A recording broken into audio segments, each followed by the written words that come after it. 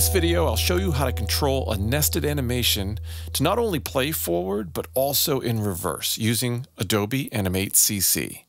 Now, the advantage of the new reverse feature allows you to play a nested animation in reverse inside a graphic symbol. If I click on the door, we can see it's a graphic symbol named door. And so let's double click the door symbol to edit it. Along the top here inside the edit bar, it'll show us that we are inside the door symbol.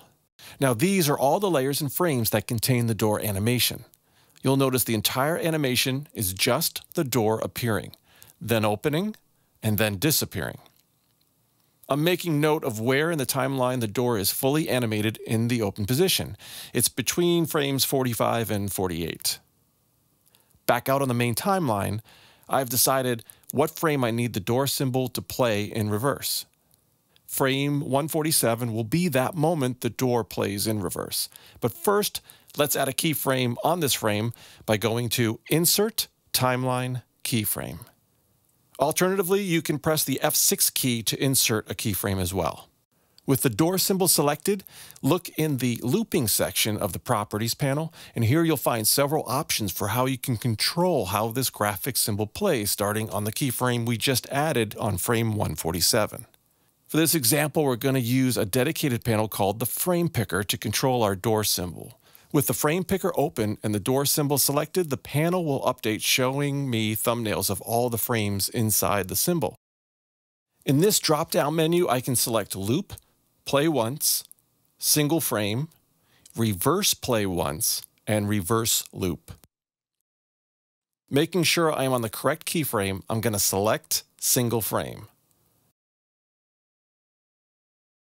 After the ball has been animated through the door, I moved the ball and its shadow assets to a layer below the door. This is because I want the door to close in front of the ball. Back on the door layer, I can go ahead and insert a new keyframe, which is where I'm going to tell the symbol to reverse play its animation. From the Frame Picker drop-down menu, select Reverse Play Once. Alternatively, you can select this option from the Properties panel as well. Just to make sure, I'm going to select frame 45 of the door symbol for the symbol to play in reverse from.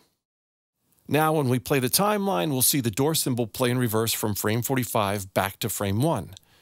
So just to recap what's happening, I'm telling the door symbol to play the nested animation in reverse, starting from frame 45 back to its first frame.